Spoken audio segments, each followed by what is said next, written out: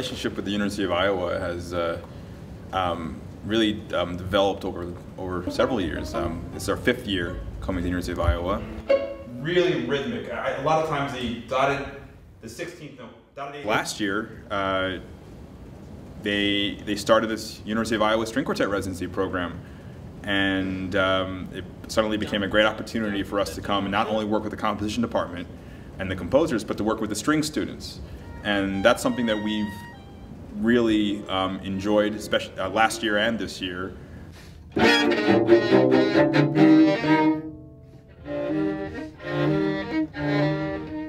And also showing our expertise in new music and kind of and trying to open their ears and their eyes to the capabilities of their instruments and what's beyond um, the classical standard repertoire.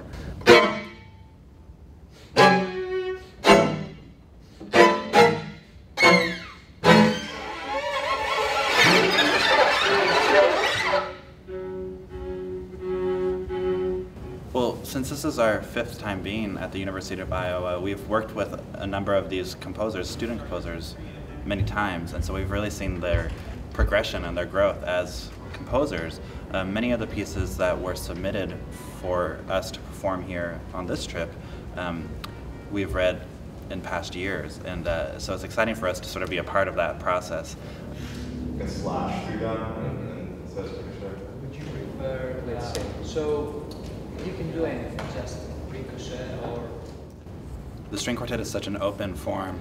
You know, has so much history, and uh, composers have done anything and everything. Uh, but even the composers here are still pushing the boundaries.